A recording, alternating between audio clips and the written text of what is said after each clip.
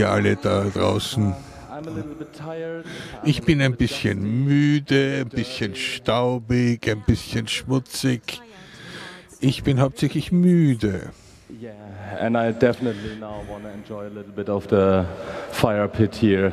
Und jetzt möchte ich ein bisschen hier am Feuer sitzen, in Ruhe. Ich ähm, habe irgendwie im Ohr, dass hier kein Feuer gut ist. Es war ein unheimlich phänomenaler Event. Ich bin da rumgelaufen, habe geniales Zeugs gesehen. Schweren Fu. Alles, was passiert ist. Ich konnte überhaupt nichts sehen. Ich habe immer alles versäumt. Irgendwie ist bei mir erst Tag zweieinhalb. Wäre das nicht cool, wenn jetzt erst Tag zwei wäre? Yeah, it's not maybe not long enough. Maybe I ja, vielleicht nicht. Vielleicht muss ich mich klonen irgendwie, damit ich das alles reinkriege, damit ich alle Projekte und Workshops und Specials. Um, we had a full packed Fahrplan, Abfahrplan. Wir haben einen rammelvollen Fahrplan gehabt. Yes, quite a few hands. Okay. Okay. Who heard about the trick that in cold nights you go into the launch to warm up? Wer hier kennt den Trick, dass man in der kalten Nacht sich in die warme Lounge setzt. Das war die beste Art, warm zu bleiben. Es war wirklich kalt am Anfang, aber jetzt ist es warmer geworden.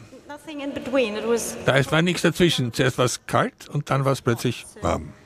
The sweet spot was like 20 minutes in the morning before you just fell out of your tent. Also es hat genau 20 Minuten gedauert und plötzlich hat dich die Sonne aus dem Zelt geworfen in der Früh. Und dann bist du herumgelaufen und dir gedacht, das muss man sehen und das und das muss ich noch machen und das muss ich dann. Ah, ah, nein, ich bin mit dem Zug gefahren. Die Hacker am Zug run around here on this uh, huge area and Wenn du auf diesem riesigen Areal herumläufst, wir hatten an die 230 Villages und jede einzelne Village hat irgendetwas Besonderes gebracht und Küchen und unheimlich gutes Essen. Ja, gutes Essen. Also äh, die haben auch äh, Swimmingpools mitgebracht. How many pools we had on camp? Weiß irgendjemand, wie viele Pools wir hatten am Camp? Ten? Ten or something? Zehn? Yes, small ones. Okay, so there Ja. were multiple pools. Da waren viele Pools. I was just for a short. ein paar davon waren geheizt. Ich- Da gab es einen geheizten Pool, ja, für die Nacht. Weil für nicht, man könnte, aber so in der Nacht in den See war irgendwie kühl. Ja, probably. Also die Nachtaktion im geheizten Pool. I was uh, heavily amazed by this community. Yeah. Ich war echt beeindruckt von dieser Community. See how people do stuff together, like the villages helping each other. Ich finde es immer so cool, wenn die einzelnen Villages gegeneinander antreten und dann neue Kooperativen entstehen und neue Kontakte und mm, Leute treffen sich hier einfach nur, weil sie nebeneinander gekämpft haben. Es ist einfach wunderschön, wenn man das wachsen sieht. Some um, old uh, Da kommen auch irgendwelche uh, alte Freunde, die man lange nicht mehr gesehen. Ihr wisst ja, dass sie ein Care-Paket zu Chaos West geschickt haben. Mit Essen, damit sie dort nicht verhungern. Ja, das war recht spezial, ja. Und alle diese Freiwilligen, I do a little bit of organization here. ich organisiere ein bisschen hier, aber jeden Event sehe ich neue Leute, die verrückte Dinge tun und es wird größer und größer. Uh, Und jeder Einzelne versucht irgendetwas beizutragen, damit der Event besser und besser wird. Ja, großer Applaus.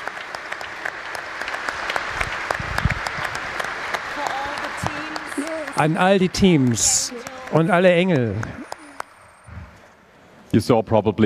Ihr habt bestimmt die ganzen Zahlen gesehen in der Infrastructure Review. Wenn ihr sie gesehen habt, dann solltet ihr vielleicht das noch anschauen, denn das ist wirklich beeindruckend. Ja. Und ihr könnt immer noch mithelfen, könnt ihr euch immer noch einbringen. Eine der Sachen in diesem Camp und auch anderen Ereignissen dieser Art ist, ich bin immer wieder fasziniert, wie wir alle verschiedene Erfahrungen haben. Und wenn wir in Teams arbeiten und engeln oder unsere eigenen Projekte zeigen, dann sehen alle dies mit ihren eigenen jeweils verschiedenen Augen. Es ist also immer für jeden und jede ist es irgendwie ein anderes Camp. Alle von uns erfahren das gleiche Event, aber auf verschiedene Weise. Wir können also über das Camp reden und haben etwa 5000 verschiedene Geschichten, 5000 verschiedene Abenteuer, 5000 verschiedene wundervolle Ideen, die aufgebracht wurden und mehr. Ja, genau. Einer meiner persönlichen Lieblingserfahrungen war das Chunk, der Chunk-Nachtisch am ersten Abend. Hast du den probiert? Ein äh, bisschen zu süß, ein bisschen zu viel Zucker. Ja, aber schön cremig. Ja. Ja. Und das ist sehr gut, um Leute zu bestechen. Äh, ja.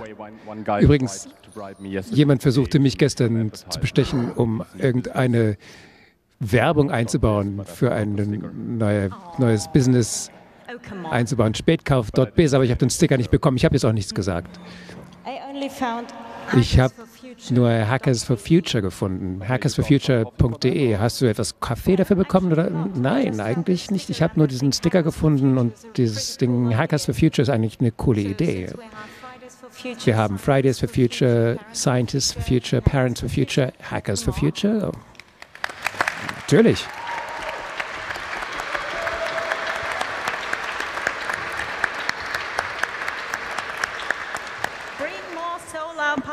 Bringt mehr, uh, bringt mehr Solarenergie. Wiederverwendbare Strohhalme. Wer hat welche dabei? Wer hat hier wiederverwendbare Strohhalme? Oh, niemand.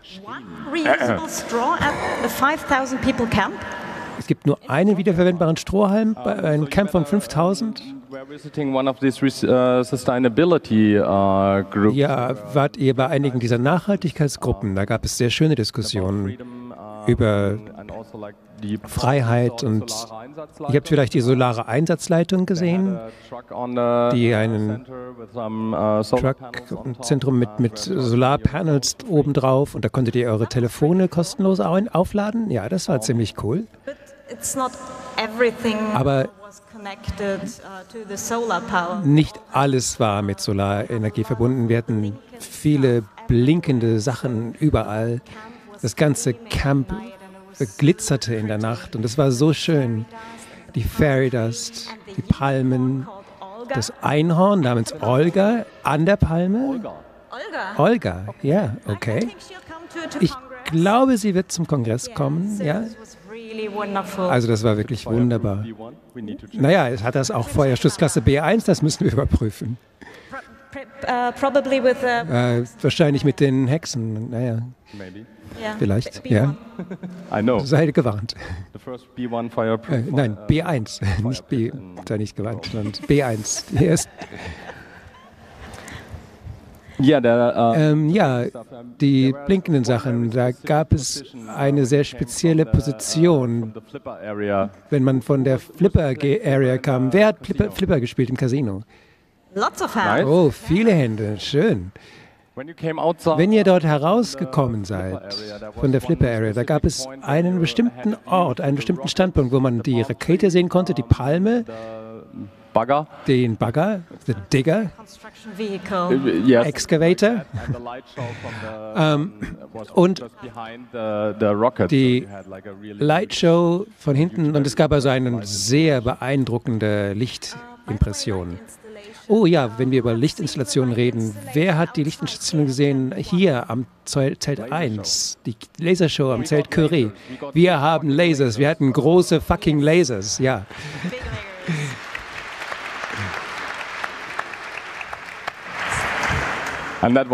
Und das war eine fantastische Show, ja. Ja. Ja. Uh, so ziemlich passend für diese Fluchtwegefreiheiten, diese Wand, die es gab. Wer hat dieses sehr große Schild gesehen? Gibt, äh, äh haltet die Rettungswege frei. Danke. Haltet diese Wege frei, ja. Und auf der anderen Seite gab es verrückte Schilder überall. Mein persönlicher Liebling war mein Favorit am Eingang bei der Kasse. Ich glaube, es war am Tag minus eins oder so. Ein Karawan versuchte zu wenden und, äh, und dann gibt es jetzt das Schild C3 Sinkhole. Es hat nämlich eine Weile gedauert, den Karawan dort heraus, herauszubekommen. Ähm, es gab, wir sitzen jetzt hier in der Feuertonne und jemand gab es ja mit einem Hut, der Feuertests machte. Das war sicherlich nicht Feuerschutz B1, aber die Leute sagten, dass es okay ist. So, die Feuerwehr. Wir hatten eine Bitte vorher. Jemand wollte Propane-Gas Puffer Trike. Ein propangasbetriebenes Trike bringen, um damit auf dem Camp herumzufahren. Ist der Typ hier? Ich möchte mit dir sprechen. nee. Yeah. But so, many awesome so viele tolle Projekte. Uh, ich glaube, ich habe vielleicht nicht mal 10 Prozent von dem gesehen, was da war. Sicherlich nicht. Also wir können über viele Dinge reden, die wir gefunden haben. Zum Beispiel gab es auch ein ziemlich beeindruckendes Ding.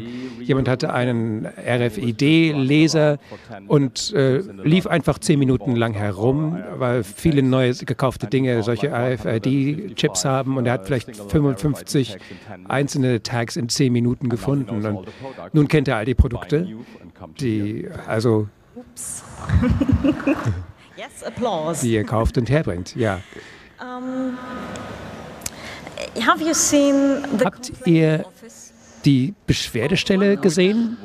Welche? Es gab zwei. Äh, ich glaube, es gab drei. Uh, ich habe mindestens zwei gesehen. Welche? Ich sah die Pöbelbar.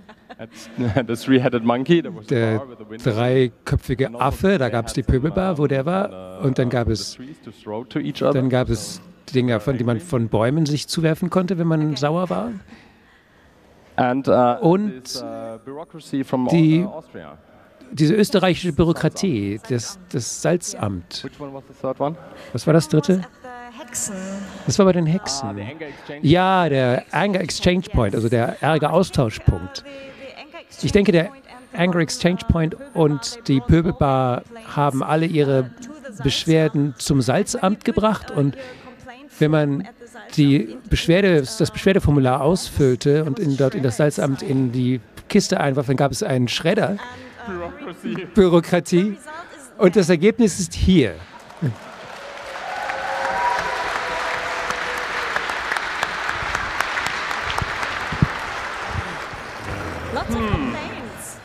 Das sind aber viele Beschwerden. Wer will, wer will Beschwerden? Stückweise Beschwerden. Aber sie sind nicht B1. Vorsicht. Uh, We can try that maybe. Sollen wir, sollen wir versuchen? Sollen, ah, kann man, nein, brennt nicht. Jemand hat versucht, das Salzamt zu bestechen. Äh, und haben eine 5-Euro-Note hineingetan. Die wurde mitgeschreddert. Haben Sie sie gefunden anschließend? Ah, Sie haben sie zusammengeklebt wieder. Oh, they found most of it. That's nice. Ah, die haben das, die Mehrheit davon gefunden. Ah, 5 Euro ja, für all diese Beschwerden. Ja. Um, but I think the best der beste Teil des Camps, zumindest habe ich das von den meisten gehört, abgesehen von all den Projekten und dem coolen Fu, got much more diverse. Das Camp ist viel diverser geworden und, und sehr viel politischer und das hat mir sehr gut gefallen. Auch der Feedback war sehr viel positiv. Also ein großes Dankeschön, die, die, die Politik und politische Projekte, ökologische Talks und Workshops, so, so wie die Three-Headed Monkeys bei den über Freiheit. Ähm, das war sehr cool, wie die Community sich da entwickelt, ihre eigene Stimme gefunden hat und wie die lauter und lauter wird. Ich finde, das ist wirklich ein cooles Ding und Dankeschön an euch.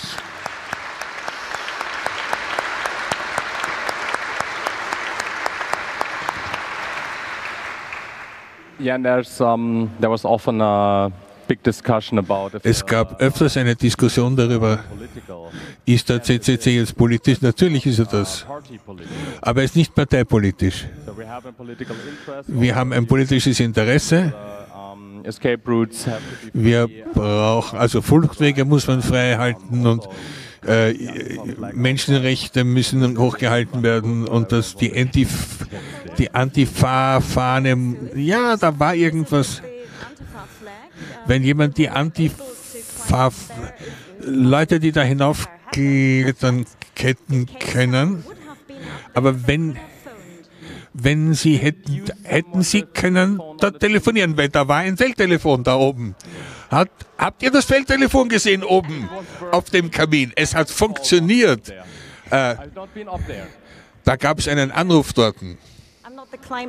Ich bin nicht so die kletternde Person, aber das ist Zeit des verrückten Fu, wenn wer hat schon auf seinem 40 Meter hoch, wie hoch ist das Ding? Hoch auf dem jedenfalls. Wer hat dort schon ein Feldtelefon? Ein funktionierendes. Also genau neben der Wi-Fi-Antenne. 57 Kilometers to Berlin, Air Gap. 75 Kilometer von Berlin, 400 Megabit. Äh, wow, wow, wow, wow, wow, war nicht schlecht. On, on the political side, um, you've been to Milliways once. Uh, Warst du bei Milliways? Ja, nein, kurz, kurz. Aber war ich dort? They have Whiskey Leaks. Aber du weißt, dass sie dort Whiskey Leaks haben? Habe ich gehört okay. davon, ja. But they had another very nice, um, nice thing called uh, Mail to the Jail. Die hatten noch etwas, das hieß Mail to the Jail, also Mail ans Gefängnis. Damit man Leuten, die im Gefängnis aus politischen meistens. Ah, das, ah, das Postbüro ist. Oh. Wir haben eine Expresszustellung. Was ist es denn? Ja, du kannst es als abgegeben markieren. Thank you very much. Dankeschön. Okay.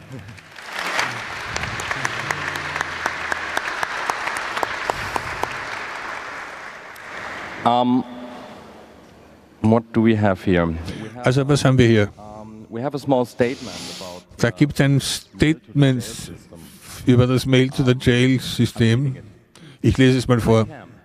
Hi Camp. Mein Name ist Ola Bini. Ich bin in, am Ende in Ecuador noch immer am Ende ähm, für nicht spezifizierte. Wer kennt den Fall von Ola Bini? Ola Bini ein Freund von Julian Assange. Er ist im Gefängnis in Ecuador unter sehr seltsamen Umständen. Uh, Die Untersuchung beruht auf zwei Dingen. Meine Freundschaft mit Julian Assange und die Tatsache, dass ich eine Reihe von Technologie besitze. Für 130 Jahr Tage ist nicht ein einziges Stück äh, gef äh, gefunden worden, das mich belastet hätte. Letztes, letzte Woche war angeblich ein un, äh, unwiderlegbarer Beweis, dass ich das Telefonsystem von Ecuador gehackt habe. Äh, das stimmt überhaupt nicht und das Bild hat das genau das Gegenteil gesagt in Wirklichkeit.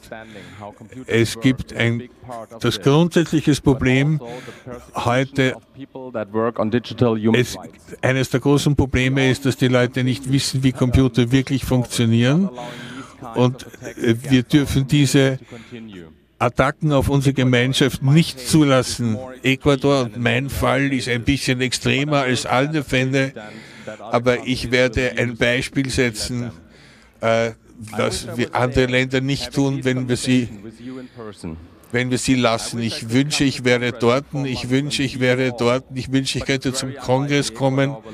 Es ist sehr zweifelhaft, ob Ecuador mich gehen lassen, so schicke ich euch äh, meine Grüße und setzt den Kampf fort, bitte.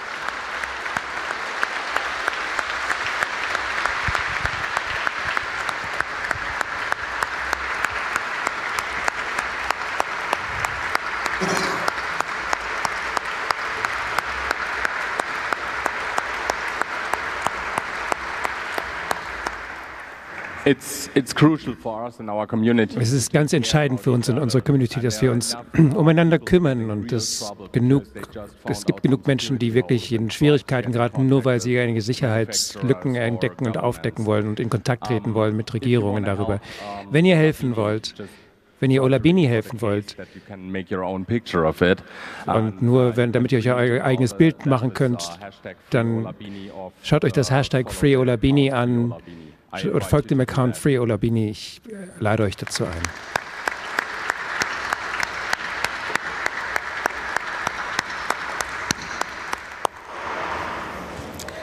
You know, there are many people Ihr wisst, es gibt viele Leute hier, die,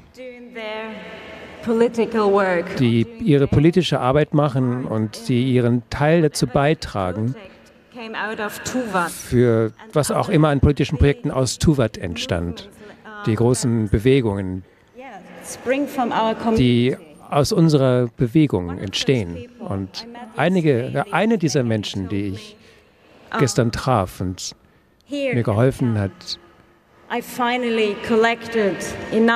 ich habe endlich genügend Energie gesammelt, um an all diesen Projekten zu arbeiten, wieder von morgen an. Und ich hoffe, dies gilt für euch alle das, zumindest zu einem kleinen Teil, dass ihr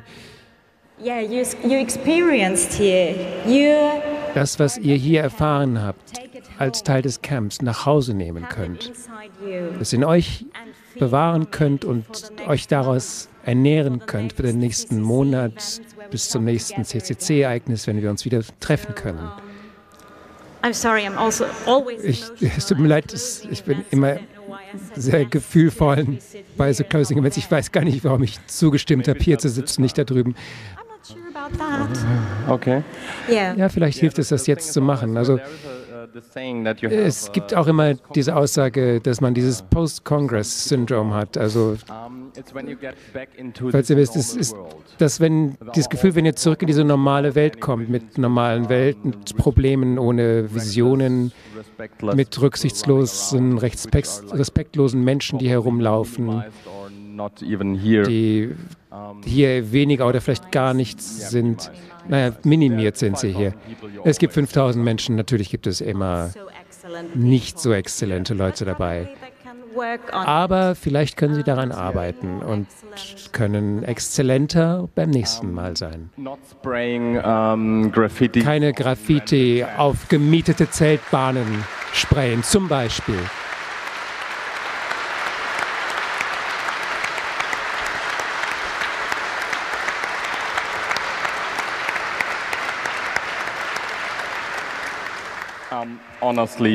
Also wirklich, wer immer das war, möchte vielleicht einen Schritt zurückgehen und über das eigene Leben nachdenken. Uh, er oder sie hat etwas Zeit, uh, um zum Beispiel an der Card.io zu hacken, also das eigene Ich vielleicht maximieren, verbessern? Vielleicht gibt es dafür eine App. Ja, sprüht nicht auf Zelte. Eine Vibration jedes Mal, bevor man sich betrinkt oder so. Ja? Ich hatte nicht so viel Zeit, um die Badge zu bekommen, nur ein bisschen zwischendurch und es sieht wirklich toll aus. Du hast es geschafft, dass es die richtige Zeit anzeigt? Ja. Ich habe nicht mal das geschafft. Naja, resette es jetzt nicht. Ich denke, die arbeiten dran. Denn alles andere ging erstaunlich glatt. Und selbst wenn man nicht so in dieses Computerzeug so eingearbeitet ist, ist dieses Gerät immerhin äh, äh, auf jeden Fall etwas äh, Großes als Einstieg in diese Welt der Smart Devices, Smart Home und sich selbst auch beobachten. Großen Applaus für das Cardio-Team. Das ist einfach großartig.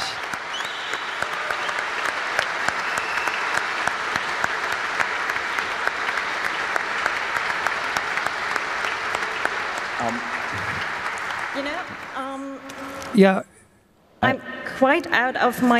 Ich bin jetzt mehr oder weniger durch meine Notizen, aber ich habe noch eins. Ja, du, okay. I'll get in touch with computers ich bin etwa in der Mitte der 90er mit Computern in Kontakt gekommen und habe Monkey Island gespielt. Das war wirklich eines meiner Lieblingsdinge da. Und äh, ihr habt das vielleicht, dieses, vielleicht dieses verrückte Piratenschiff in dem Three-Headed Monkey, dem Dorf des dreiköpfigen Apfen gesehen und, und das ganze Setup da. Es gab, habt ihr diese, diese Boote gesehen, die davor standen, diese Schiffe, die ein kleines Ding hatte, was man aufmachen konnte und dann konnte man Monkey Island spielen. Nee, das habe ich nicht gesehen. Ich habe einige Zeit da verloren. Ja, so viele wundervolle Projekte. So viel Glamour, so viel Blinken überall. Ich denke, wir könnten 40 Stunden euch erzählen all diese, über all diese coolen Sachen. Und, und, ihr, und ihr könnt das machen, weil wir ja gar nicht alles gesehen haben. Ihr könnt das fortsetzen. Ich denke, es ist völlig unmöglich, das zu tun. Äh, seid ihr, seid ihr nicht, lasst ihr nicht stören, ich bin hungrig. Marshmallow über dem Lagerfeuer. Wird es schon weich, ja? Ich glaube, sie brauchen etwas mehr Zeit noch, aber nee, nee. Wo war ich? Ja, also so viele Projekte. Wir würden, naja, es ist keine Schweigeminute, aber bitte einen großen Applaus für all das coole Zeug. Und ich hoffe, dass wir alle vielleicht das meiste davon irgendwann auf Twitter sehen können oder beim nächsten Kongress oder wo immer. Und etwas mehr CCC in unserem Leben haben können. Hoffentlich. Ja. Ah, das ist schon ganz gut gehackt. Ja, ich bin jetzt, jetzt, jetzt, sitze so oft draußen an Lagerfeuer, also deswegen weiß ich, wie man das handhabt. Du hast einen Bug gefixt da, ja. Aber ich habe sie normalerweise nicht aus, ich schalte sie normalerweise nicht aus. Wie, weißt du, wie man das macht? Es ist jetzt Zeit ins Bett zu gehen. Das wäre schön, wenn das jemand ausschalten könnte. Vielleicht, vielleicht haben wir irgendwelche professionellen Leute dafür, für das Abschalten? Irgendjemand? Feuerlöscher vielleicht? Um, oh, ah, ich denke, wir bekommen jetzt etwas Hilfe. Das ist schön. Vielen Dank. Du bist von Power, oder? Okay, vielen Dank. Gute Nacht.